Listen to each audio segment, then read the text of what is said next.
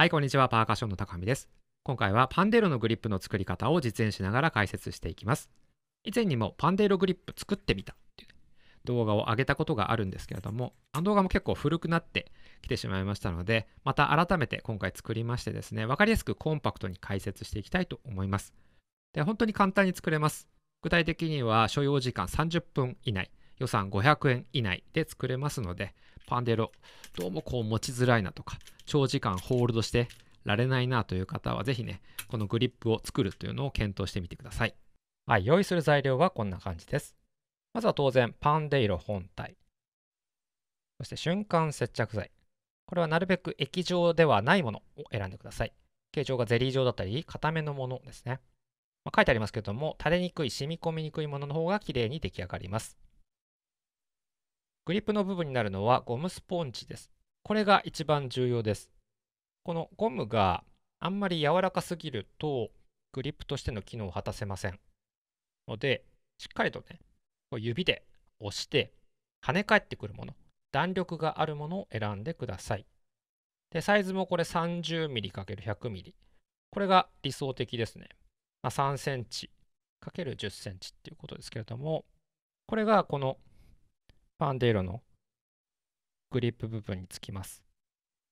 まあ、大きい分、厚い分にはカッターでカットすることができますけれども、もしこのサイズがあれば、これをこのまま購入すると良いでしょう。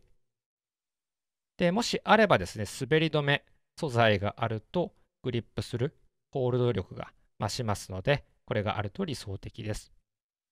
ホームセンターで、えー、接着剤100円、ゴム200円、滑り止め100円っていう感じだったので、まあ、大体500円ぐらいで、えー、収まるかなという感じです。で、ゴムを切るのにカッターを使います。はい、パンデーロはすべてラグ外して、ヘッド外して、フープだけの状態にしてしまいましょう。ヘッドつけたままやってもいいんですけどね、若干やりづらいっていうのと、ヘッドに接着剤がついたりすると、すごいテンション下がりますので、もうあらかじめ外しておいた方が無難です。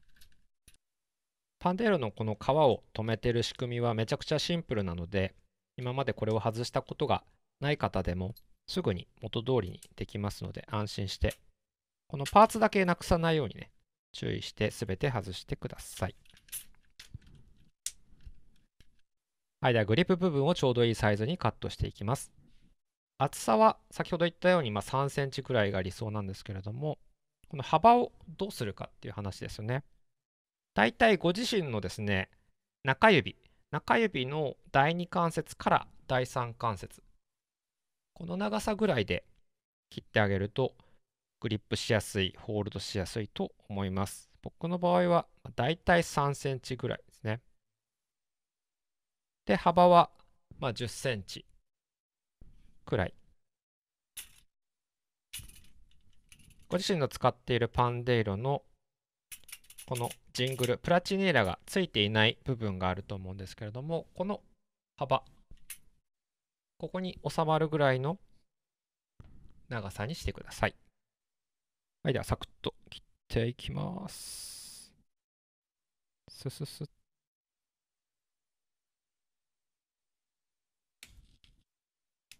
すいません。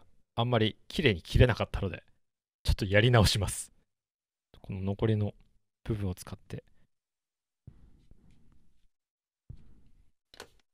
はい。切れました。で、おそらくこの切り口側の方が、ちょっと雑になるというか、汚くなると思いますので、こちら側を、この本体に貼り付ける側にします。で、このくっつける側にですね、ちょっとこう、切り込みを入れておくと、綺麗にできます。はい、こんな感じでですね、お肉とかお魚にこう、切り口を入れるような感じで入れてあげると、こううまくね、丸まって、ここがぴったりボディにくっつきます。で、このボディのジングルがついてない部分にグリップをピタッとくっつけるわけですね。で、このヘッドがつく側、ここにヘッドがつくんですけれども、このヘッドをつける側にグリップが寄らないように気をつけてください。ヘッドをつく側にはしっかりスペースを開ける。この部分にスペースを開けて、反対側ですね。このヘッドがつく側じゃない方、ここの縁にこのグリップの高さを合わせましょう。つまり、こっちがヘッドじゃない方です。ヘッドと反対側の方。ここの縁にこのグリップの高さを揃えて、これを接着剤でつけます。あまりこれ、はみ出ると汚くなっちゃいますからね。適度な量で。で、これ、もう一回言いますけど、くれぐれもヘッド側につけないでください。ヘッド側じゃない方につけると。ヘッド側に触れるとね、ちょっとミュートされてしまいますんでね。それだけ十分気をつけてください。で、これくっつくまでしばらく持ってます。はい。というわけで、こんな感じでくっつきました。最初の10分くらいだけ、こうギュッと押さえてあげて、あとは自然乾燥でいいと思います。で、もうこのままで使っても、もう十分使えるんですけれども、まあ、さらにね、ホールド力を増すために、これからこの滑り止めっていうのをつけていきたいと思います。で、つける場所なんですけれども、まあ、こういうふうにグリップする持つとして、この指が触れる部分ですね。この面か、指の先が当たる、この面に滑り止めがあると、このホールド力が増しますので、プラスアルファでつけていただければと思います。僕は今回このね、指の先端がつく方に滑り止めをつけてみたいと思います。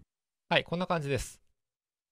この4箇所にね、ちょうどこう指が乗ると、あ、いい感じ。はい。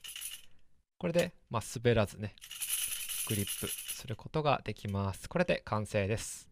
はい。あとはヘッドとフープを元に戻すだけです。僕はちなみにヘッド交換もしたいと思っておりましたので、変えていきます。パデラそこまでチューニングシビアな楽器ではありませんけれども、まあおおよそこの見た目が均等に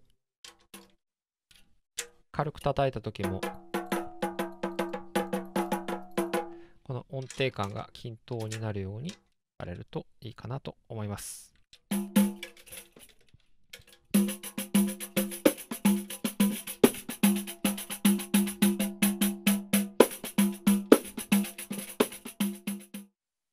はい、というわけでパンデイログリップの作り方でした。見ていただいた通りですね、むちゃくちゃ簡単ですので、パンデイロを持つのをもっと安定させたいなという場合にはグリップつけるのを検討してみてはいかがでしょうか。はい、こんな感じでこのチャンネルではパーカッションとパーカッションを愛する人の未来のために毎日情報を発信しております。他にも動画がたくさんありますので、概要欄の再生リストからぜひご覧になってください。毎週日曜日には YouTube ライブを使ってパーカッションのワークショップもやってますので、引き続き要チェックをお願いします。それではまた次の動画で会いましょう。バイバイ。